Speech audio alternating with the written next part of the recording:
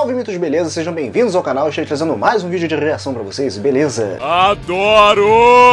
E finalmente estou trazendo pra vocês aí a origem do Verdugo, segundo ao canal lá do Master Reset, canal esse que eu aprendi a gostar, vocês indicaram, eu gostei muito. Ele botou aqui Verdugo, história não contada, origem em teoria, Resident Evil 4, beleza? E confesso pra vocês, já falei e repito aqui, esse personagem aqui do Resident Evil 4 é o que eu mais gosto, dos, é, dos vilões, dos mini-boss no caso, né? Pra mim ele é muito mais difícil até do que o último boss. Eu estarei vendo com você naquele mesmo esquema de sempre pra vocês verem minhas avaliações. Hoje vou deixando seu like bem esperto pra ajudar o negão, se inscreva no canal, ative o sininho, se você é novo ou nova no canal, sejam bem-vindos. Ai, que delícia! Rita já sabe o esquema, espada do negão tá aqui pra você beijar à vontade, continuar sentadinho me dando visualizações e depois disso você se levanta e vai nadar com o tubarão. Vem brincar comigo, vem! Então vem comigo, bora assistir juntinho aqui naquele mesmo esquema e, sem mais enrolação, bora para o que interessa, direto para o react, é claro, depois da nossa vinheta. Valeu, galera!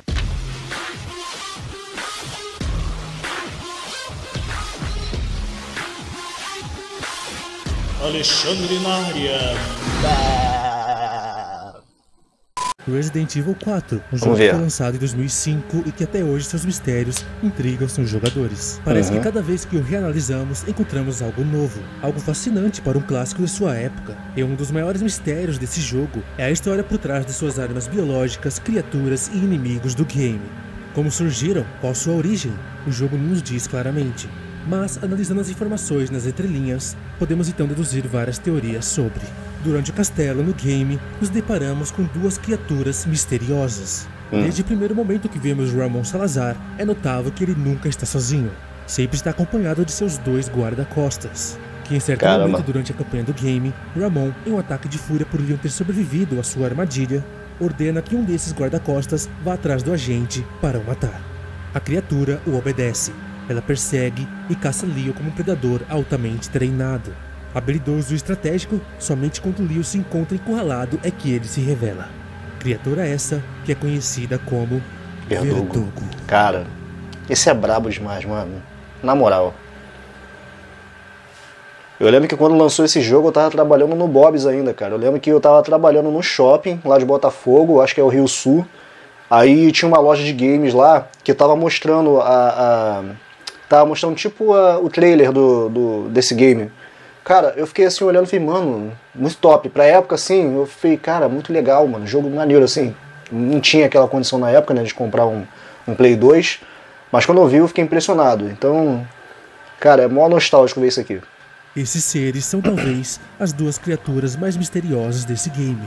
Não há notas e nem falas contando suas histórias ou como foram feitos, e nem mesmo como são chamados. Você já reparou nisso? Simplesmente não existem essas informações. Nem mesmo o nome Verdugo, ao qual estamos acostumados, está presente no game. Então, como sabemos que o nome dele é Verdugo se nem o próprio jogo nos diz esse nome? A resposta é simples. O que acontece é que, juntamente com o game, saíram também livros oficiais da Capcom descrevendo os inimigos do jogo, tal como Resident Evil 4 Digital Biohazard. E essa criatura, sem nome no game, foi chamada de Verdugo nesses livros, ou arquivos digitais. E juntamente com seu nome também foram reveladas informações cruciais para entendermos um pouco de sua origem. Informações essas que revelam que essas duas criaturas misteriosas foram criadas através da combinação de DNA humano com de insetos implantados junto ao Las Plagas, sem muito aprofundamento. Os verdugos, a qual o nome verdugo significa carrasco em espanhol, foram criados pela seita Los Iluminados e sendo eles apenas duas existências, seus principais papéis é servirem como guarda-costas pessoais de Ramon Salazar, o oitavo Lorde do castelo. Os verdugos escondem sua aparência mutante através de mantos longos que cobrem boa parte de seus corpos. Os mantos são das cores principais da seita Los Iluminados, um vermelho e outro preto, com os detalhes intercalados. Cara, ia ser mó da hora se o Verdugo aparece com essa roupa primeiro, enfrentando o Leon. Aí depois, tipo, ele se revelasse, tipo, rasgando lá tudo assim. Que, cara, ia ser muito da hora. O verdugo de manto vermelho foi o que recebeu a ordem para matar Leon. Durante a perseguição contra o agente, essa criatura descarta seu manto para melhor locomoção e agilidade. E apenas após o Leon estar encurralado, o verdugo aparece e sua real forma é revelada.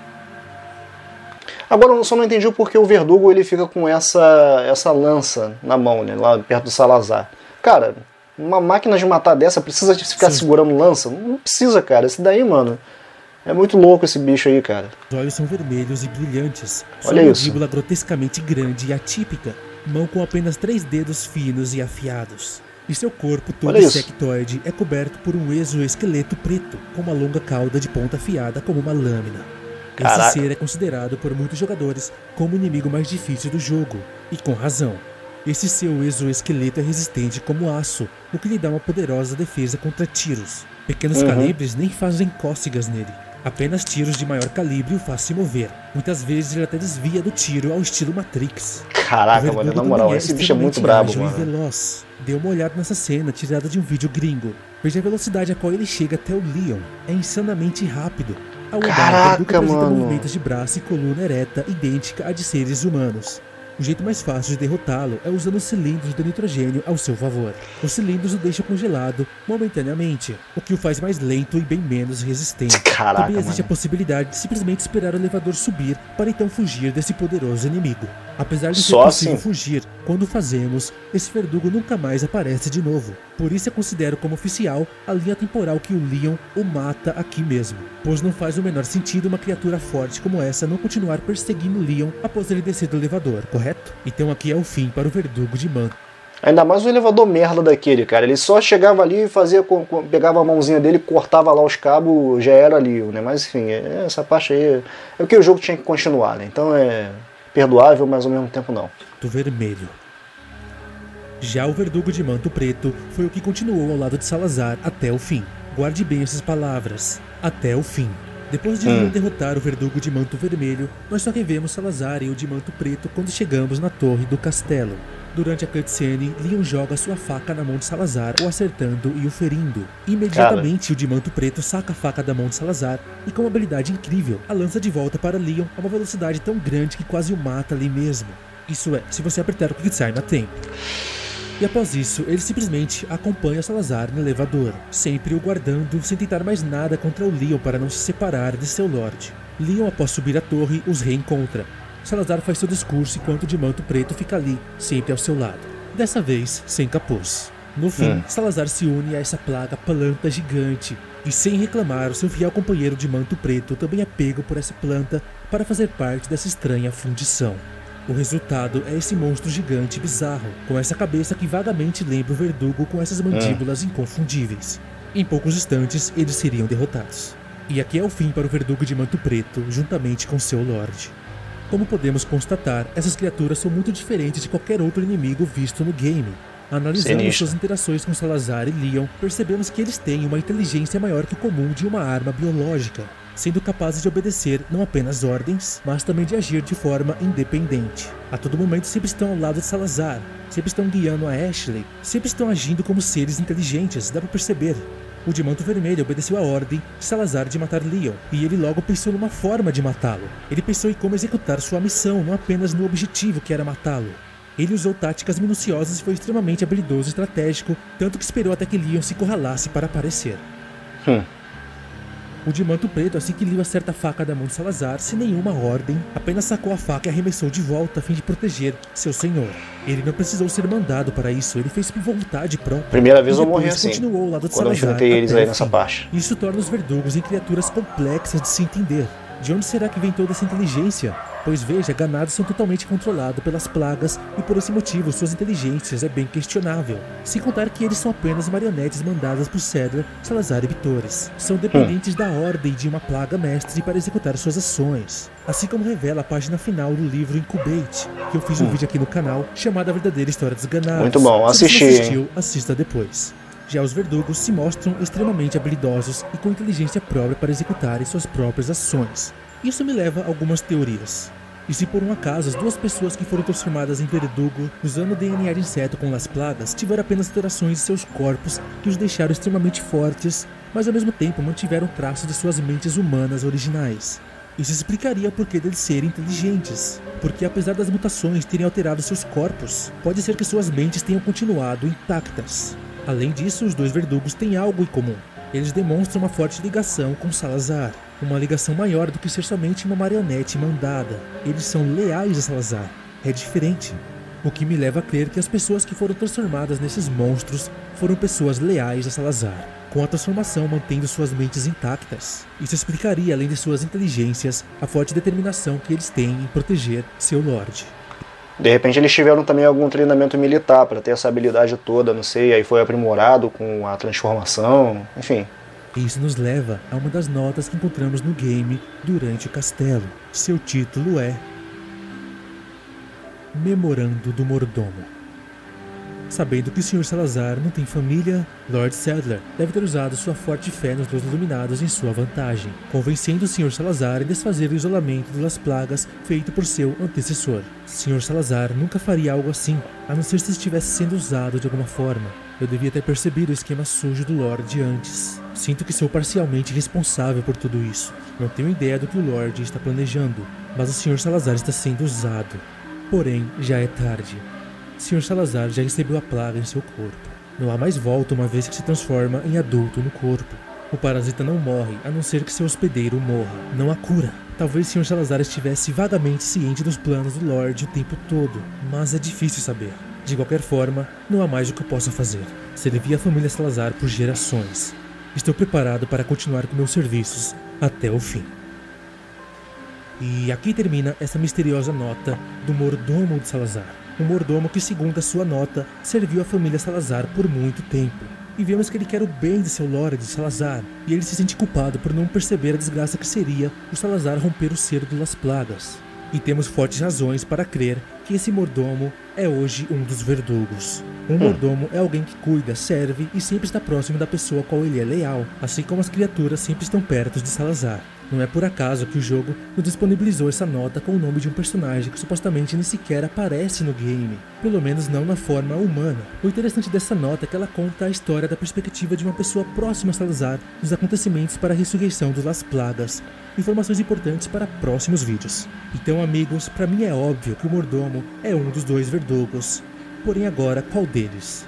E sendo o mordomo um, quem será o outro? Antes dessa próxima parte da teoria, vamos nos aprofundar no nome Verdugo. Primeiro, eu tentei encontrar no jogo onde diz que o nome da criatura é Verdugo, e não encontrei. Não tem notas e nem o bonequinho deles como do Salvador para dizer seu nome. Mas como dito no começo do vídeo, todos os arquivos oficiais da Capcom o chamam de Verdugo.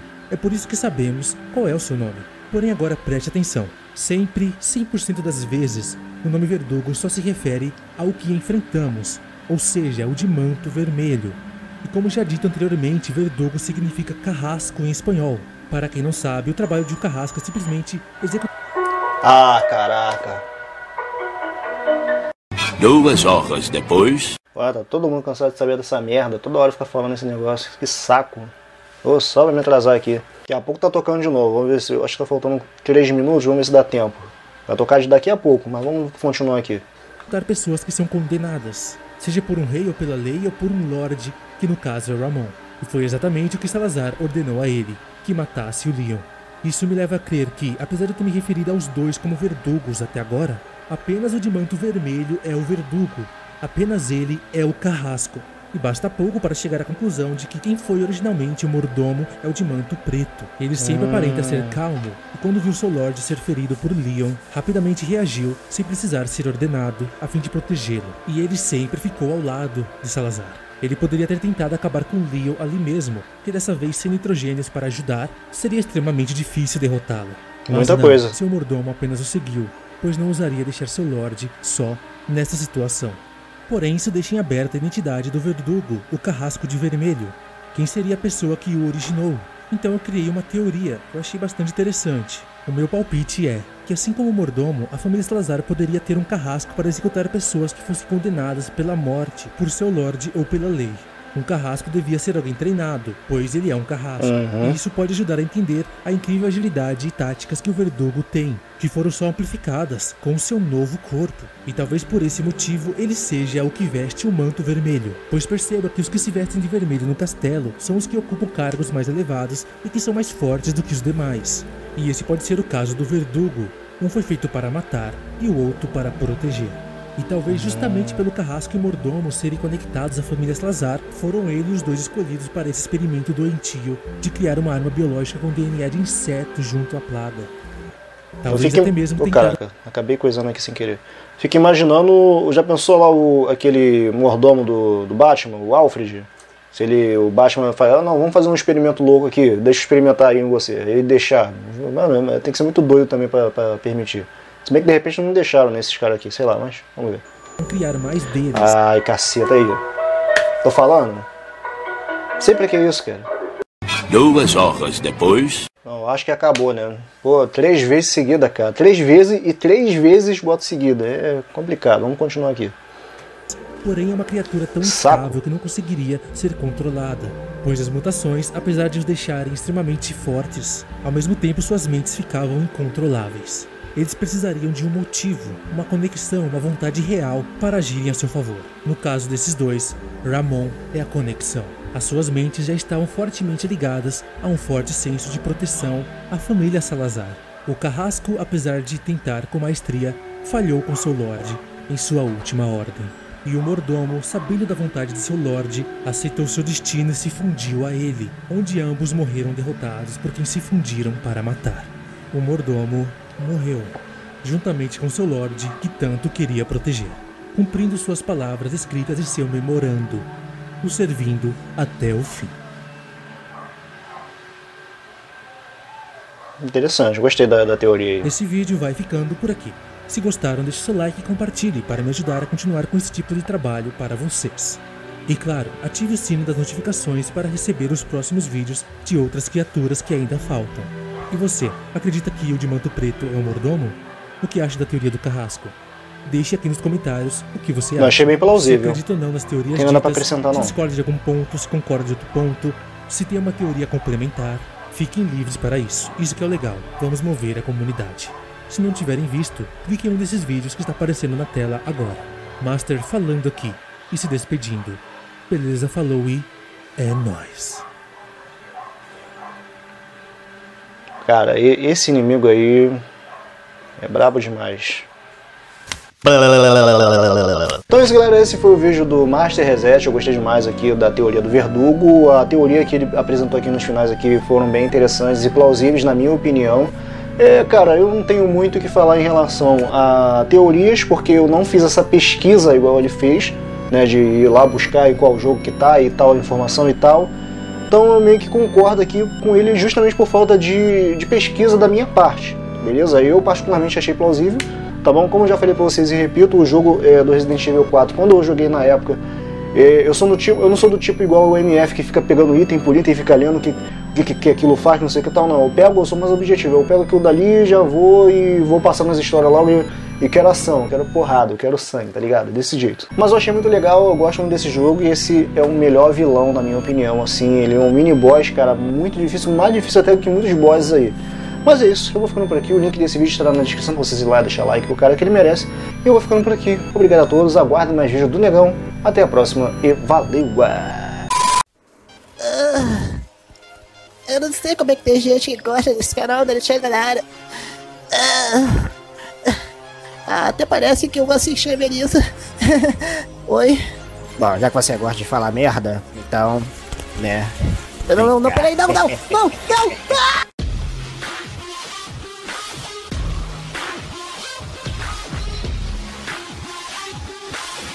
Alexandre na área.